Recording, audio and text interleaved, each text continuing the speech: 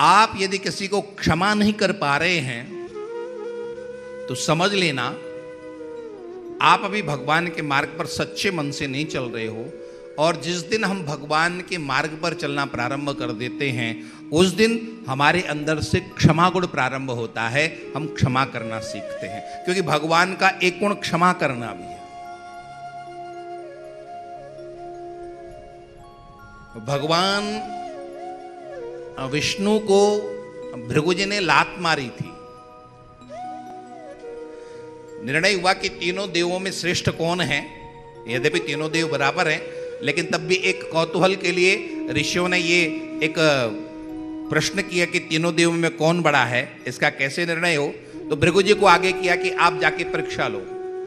ब्रह्मा जी के दरबार में गए। ब्रह्मा पिता है भृगु जी के। प्रणाम नहीं किया। ब्रह्मा ने क्रोध भरी आँखों से देखा कि तो मेरा बेटा होकर के मुझे प्रणाम नहीं करता है। भृगु जी ने सोचा कि पिताजी भी कुछ ठीक नहीं है। इन्हें भी सम्मान ज़्यादा चाहिए। बोले बाबा के पास गए तो बोले बाबा ने हाथ खड़े कर दिए, आओ भैया, बहुत दिनों बाद आए हो तुम, आओ मेरे गले लोगो। तो भृगु ने उनको चढ़ाने के लिए कह दिया, नहीं नहीं, दूर से ही रहो। तुम भूत प्रेतों का संग करने वाले हो, चिताभस्म लपेटने वाले हो। मैं त्रिकाल संध्या करने वाला ब्राह्मण हूँ। मैं भी तुमसे नहीं मिल सकता हूँ। भगवान शंकर ने त्रिशूल उठाया, ज़्यादा तो शुद्ध बनता अपने आप को। पार्वती जी ने चरण पकड़े, भगवान क्षमा करो ब्राह्मण को। वहाँ से भी चले आए।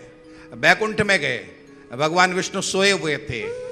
और सोए हुए भगवान विष्णु के वक्षस्थल पर सीधे जाकर के लात मारी, और जो ही लात मारी, आप समझ सकते को क्या हो सकता है। आप जगे हुए आदमी को मार दो, जगे हुए आदमी को उतना गुस्सा नहीं आएगा, सोए हुए आदमी को ज़्यादा गुस्सा आता है। सोए हुए में कोई आपका कुछ वो कर दे और आपकी नींद खराब हो जाए तो बहुत गुस्सा आता है, क्रोध आता है। यहाँ भगवान सोए हुए थे और सोए हुए भगवान के वक्षस्थल पे, छाती में भृगुजी ने जाकर के लात मारी, लेकिन भगवान ने क्या किया? भगवान ने उल्टा भृगुजी को लात नहीं मारी। बल्कि भृगुजी के चरण पकड़ लिए, भगवान, मेरा ये वक्षस्थल, राक्षसों से लड़ते लड़ते वज्र के समान कठोर हो चुका है। कहीं इस पर लात मारने में कहीं आपके पाँव को चोट तो नहीं लगी?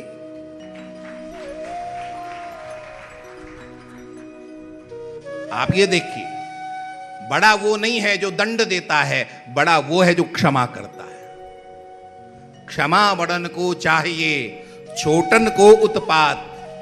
कहा कहा घट्यो है विष्णु विष्णु को जो भृगु ने मारी?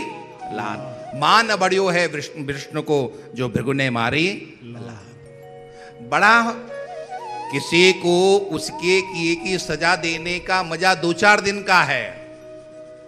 लेकिन किसी ने आपका अपराध किया और आप उसको क्षमा कर देते हो, ये आनंद जीवन भर का है।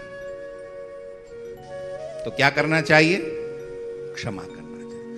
मनुष्य की मनुष्यता क्षमा करने में है, दंड देने में नहीं।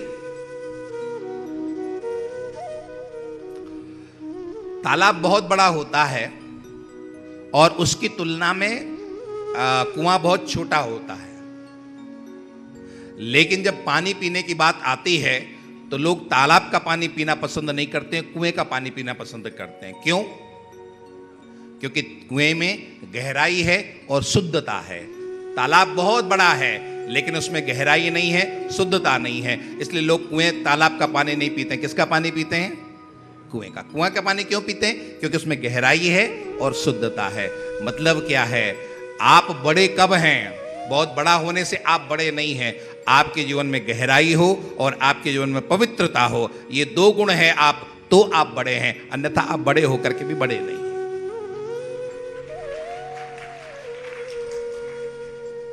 क्षमा शरीर की सुंदरता रूप से है रूप की सुंदरता गुणों से है और गुणों की सुंदरता क्षमा से है। आपका शरीर कैसा भी हो, यदि रूप नहीं है तो शरीर बेकार है। रूप की शोभा किससे है? सुंदरता से है। और सुंदरता की शोभा किससे है? गुणों से। कोई बहुत सुंदर व्यक्ति हो या स्त्री हो, लेकिन उसमें कोई गुण ना हो तो वो अच्छी मानी जाएगी? अच्छा माना जाएगा? नहीं माना जाएगा। अच्छा व्यक्ति किससे माना जाता है? गुणों से। और उन गुणों की भी शोभा किससे है? जब आप क्षमा करना जानते हैं, आप किसी को क्षमा करना जानते हैं, आप किसी को छोड़ना जानते हैं तो आप बड़े हैं तो आपकी शोभा है।